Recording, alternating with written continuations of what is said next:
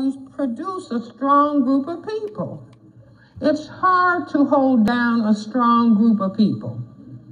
It's easy to hold down people who hate themselves and hate each other.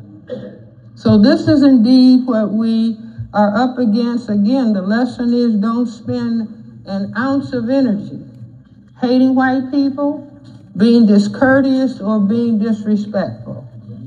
Saturate yourself in an understanding of what racism, white supremacy is, how we are going to relate to ourselves and to each other to neutralize this system of injustice.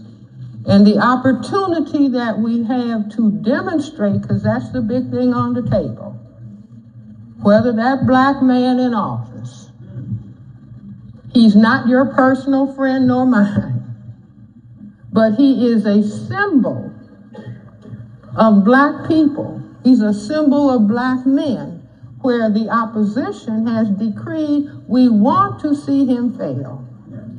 And our position is not over us.